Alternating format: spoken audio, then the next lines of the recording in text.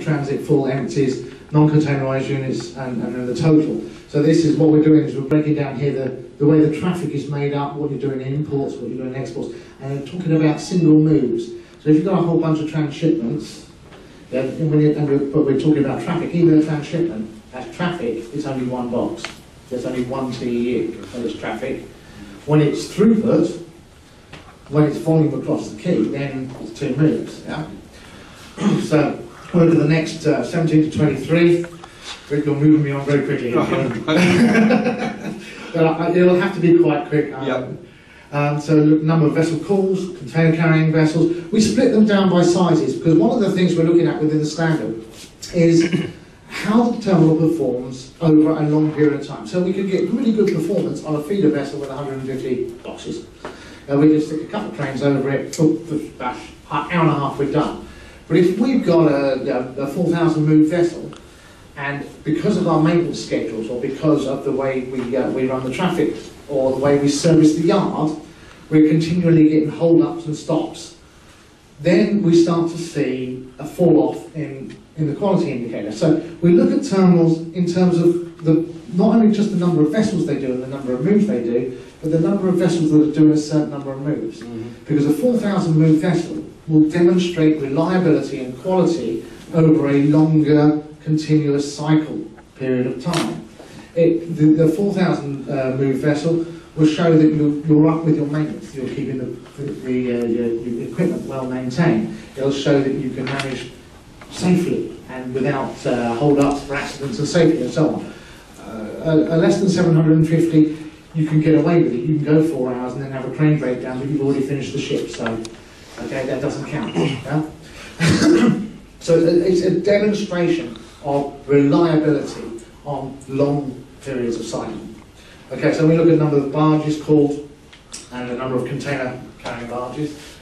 Uh, the next, all right, okay, so this is the, the next um, 24, is it? It- Okay. Yeah, yeah. Yeah, so we- we're just running down through through these. Sorry, The- What, what, what, can, what you can see within the master tables, which uh, Gustav was having a look uh, there, and within the standard itself, all these are clearly defined. There's a lot of um, uh, formulae that go with them. We'll see a form, one of the formulae later on. I'll just let you have a look at these as I talk through some, some of this stuff. So the formulae are to enable your, your software, your, your computer engineers, your IT guys to um, develop the programs within your TOS to actually be able to develop a, a, CTQI button. I mean, that's the ideal is, is where you end up with after, after 365 days, you've got a CTQI button, you go, dink, how did I do? The TOS pulls out all the information for you, you can cross-check it, I mean, the audit, the auditor itself, if you're going for certification, will come in and he will look at the, where's, where's the evidence for, for the certification.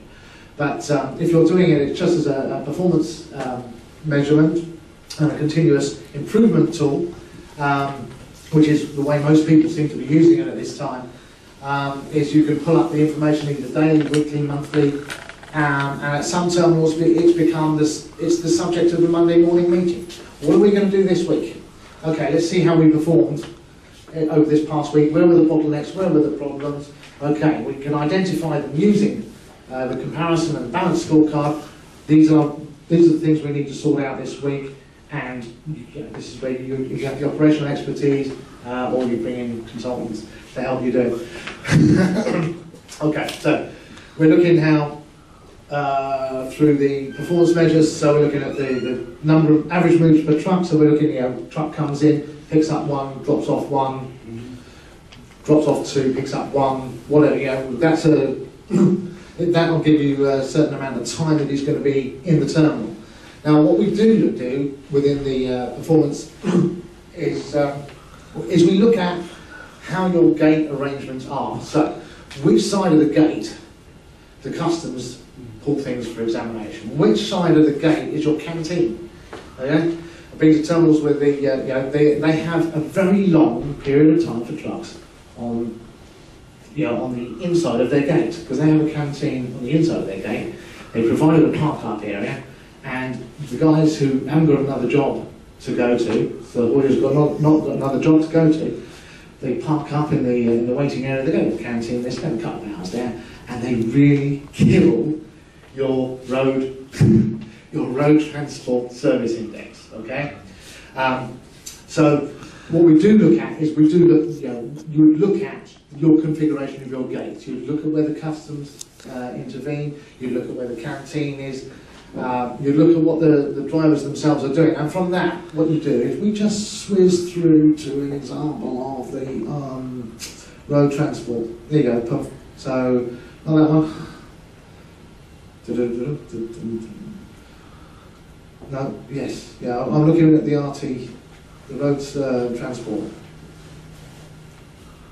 So we, we've just got some examples here of the master tables and, and some of the examples of the weighting that goes on depending on the age of the equipment, um, how many of them there are, and, and so on. No, we, have you got? Uh, not in this deck. It's not in that deck. Not this deck. Okay. But you maybe use this to show the master table. Okay, so an example of a, a part of the master table is here we're looking at the superstructure.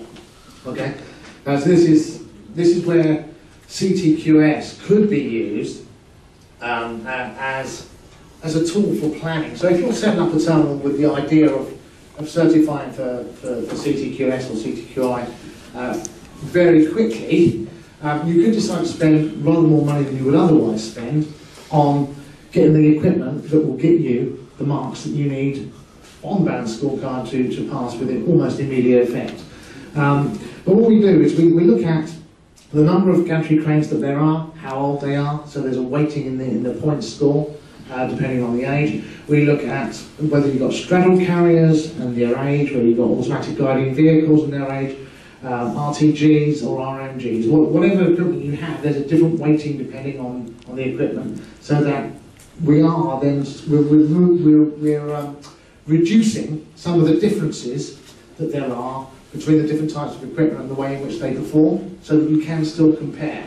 So it's a, it's a formula for for reducing out differences between different types of equipment. So, I mean, here what we can see is we can see the different weighting factors here, and of course, the point score is, is varies according to age, so you get the most number of points for the newest equipment, obviously. Yeah, the least, that's the least um, likely to have the downtime for repairs.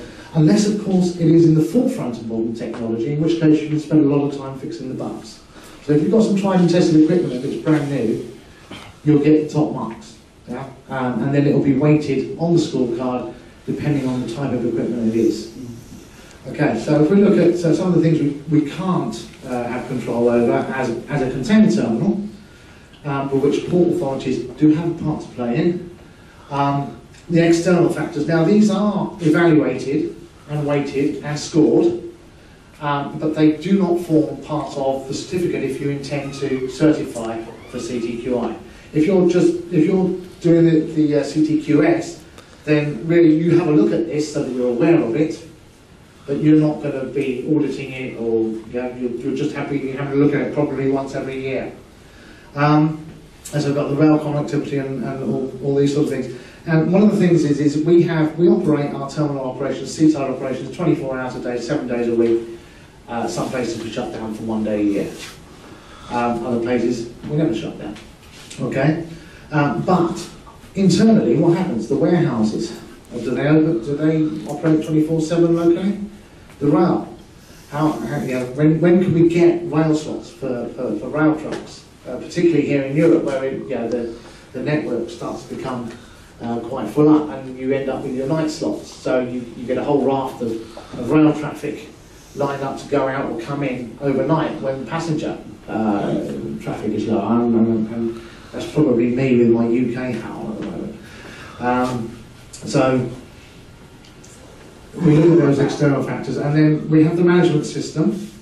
Okay, so and a checklist for the management system. So those of you who have uh, ISO 9000 so will be very familiar with the with the checklist, with the checks and balance, with balances in the ways of reporting, um, non non-conformance, and all those sort of things uh, showing and demonstrating that you're doing the, uh, the audits and that you're managing the system effectively. So I think